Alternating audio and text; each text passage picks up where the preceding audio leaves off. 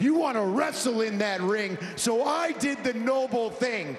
Since I could not compete, I found you a worthy opponent.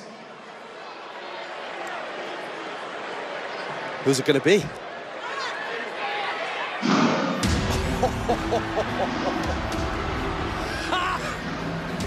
Wow.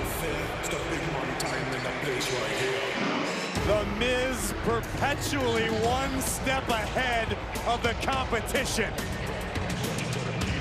And tonight for Johnny Gargano, Miz is about, I don't know, eight steps above. The Nigerian giant, Omos. Look at the size of Omos.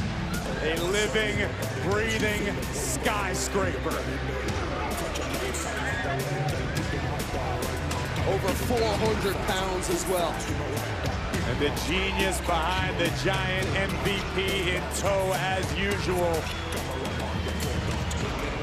Wait, wait, this is dancing. That could be a TikTok in and of itself. Omos recently returning after visiting his homeland of Nigeria for the first time in 14 years. And Graves, you actually believe that that's going to make him a more vicious WWE Well, it's not about what I believe, it's what MVP himself personally told me. MVP said being back home reminded the Giant of where he came from. It made Omos even more hungry and reminded Omos that he did not come this far just to come this far. I feel like Omos may be even more dangerous tonight than we've ever seen him before. 100% and Johnny Wrestling is ready for him. I want to see Johnny wrestle Omos, don't you? I'm I very want to see him curious. put in a headlock, give him an arm wringer. I kind of want to see the TikToks you created. I'd like to see what you did to that Oh, cactus. thank you. Go to at Mike The Miz on TikTok, Instagram, do it all.